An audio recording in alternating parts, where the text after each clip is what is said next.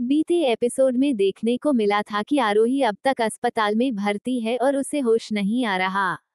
लेकिन upcoming episode में एक बड़ा ट्विस्ट आने वाला है। शो में अक्षरा अपनी पुरानी ज़िंदगी में लौटने का सोचेगी।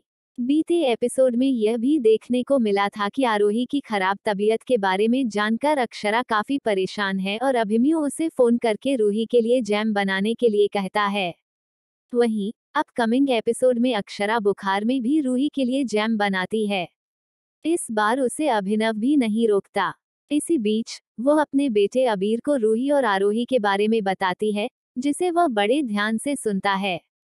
वहीं, सीरियल में आगे यह भी देखने को मिलेगा कि अक्षरा आरोही के लिए काफ़ी परेशान हो रही होती है और तब वो यह फैसला नहीं ले पाती कि उसे उदयपुर जाना चाहिए या नहीं।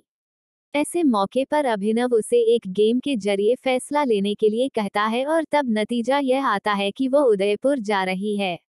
इसके बाद अक्षरा अपनी पैकिंग करती है और उदयपुर जाने के लिए फ़्लाइट की टिकट बुक करती है।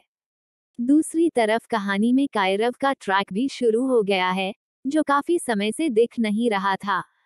कायरव को अब अभिमन्यु पर बिल्कुल भी भरोसा नहीं है। ऐसे में वह अपनी बहन को गोयन का हाउस में ले जाने की बात करता है।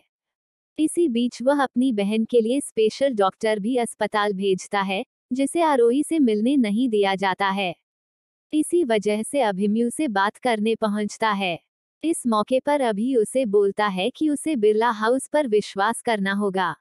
आगे आपको देखने को मिलेगा कि अक्षु घर से निकलने ही वाली होती है तभी आरोही को होश आ जाता है। आरोही अभी से बात करती हुई भी दिखेगी।